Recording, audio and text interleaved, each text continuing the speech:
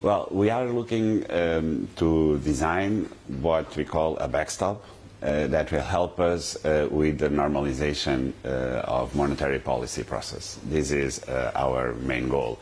Uh, it's not about the stance uh, of the monetary policy, that's very clear to everybody in the Governing Council, but we need uh, to cope with these risks of fragmentation. We uh, announced already uh, instruments to deal with that, and actually, as the President said yesterday, it will begin uh, already uh, Ju July 1st, the flexibility in the PEPP purchases. But we uh, believe that we need to go a little beyond, beyond that with this so-called anti-fragmentation uh, tool. And the main goal uh, will be to have a, a backstop that uh, is credible Uh, and uh, ideally not to be used uh, if uh, the credibility uh, of, of uh, what we achieve is sufficient. I think there is a differing assessment as to whether we're already seeing a risk of fragmentation or fragmentation as of now, or whether this is just a precautionary measure. What's your assessment? Well, it is precautionary for sure. Uh, we announced the first step of, of, of, this process already in December uh, when uh, we decided to hand the net purchases of PEPP in March. We announced that we could uh, use this flexibility. Uh, and actually, uh, after announcing that we will apply this flexibility, there was a, a significant ease in the markets. We see risks of fragmentation. we talk always of risk of fragmentation, not uh, of actual fragmentation uh, in the in the markets. But this is somehow endogenous, you know. Uh, it depends on the, the, the policies we implement, the instruments we have. We will continue to monitor all the risks that monetary policy face to, to mitigate them, to, to, to prevent them from materializing. That's, that's the, the point. So it's a con constant monitoring of, of the risks. Portugal is one of the rare countries in the Eurozone which is already trying to cut its debt level. So um, are we going to see another round of, of, austerity? I know that's the ugly word from the debt crisis, but well, is that what you plan? Well, we've been able to reduce debt already since 2016 uh, in a context that it's not described as austerity.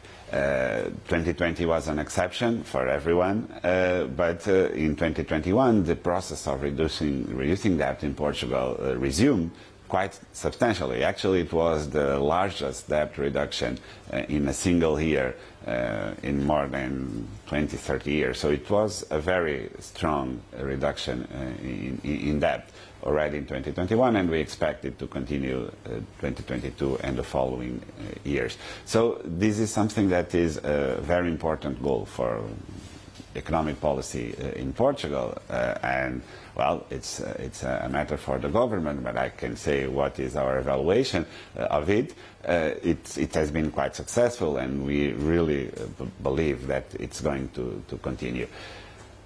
Reaching 100% of debt over GDP ratio uh, in the next uh, three, four years would be very, very important for Portugal in terms of the risk perception that the country still has, uh, but much more reduced from previous years. Portugal also has a thriving um, real estate market. It's a big, yeah, big, big issue, I guess. Also now with rates on the rise. So is there potential? Is, is there a risk to the economy stemming from that? Well, uh, the banking sector is somewhat, somewhat shielded from, from that process uh, because the share uh, of uh, uh, purchases that are made uh, through the banking sector it's much lower today than it was before. Uh, also, the markets, the, the, the demand uh, for real estate is uh, very broad. There's a component of foreigners buying homes in Portugal, of course, also domestic demand. We, we, don't, we, we are, of course, concerned with all the risks, and we are again monitoring that. Uh, we don't see uh, a problem right now. The risks are there. We don't see a problem materializing, and uh, the situation is very different from other bubbles of real estate that we witnessed, not, not in Portugal, because Portugal did not have one uh, in, in, the in, the context of the financial crisis, but in other countries uh, in Europe. So that's, that's the, the way we take this.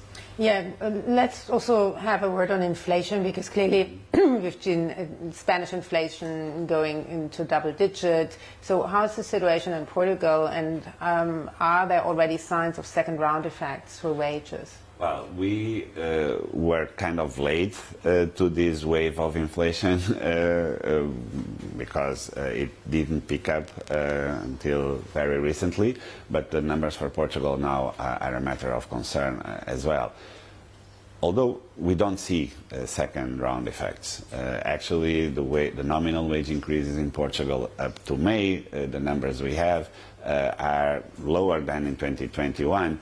Uh, so we don't see that, uh, that, that forming in Portugal. And actually the labor market has been probably the, greatest success uh, in our economies. and it's actually one, one resilience that we need to continue.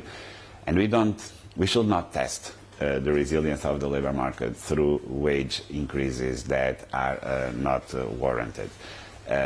We don't see them in Portugal as of now we understand the pressure for further wage increases. This is a natural thing in, when facing inflation, but we need to uh, be rather conservative because of the risks, the very significant headwinds that we still face uh, in, our, in our economies, coming from supply uh, bottlenecks, the war uh, in, in, in, Ukraine, uh, also the pandemics, because the pandemics is still uh, putting some pressure uh, on, on, on, us. So these are the, the, issues that we should concentrate on to reduce uncertainty uh, and uh, as every forecast now uh, projects, uh, inflation to start going down uh, at yeah. some point in the near in the near future.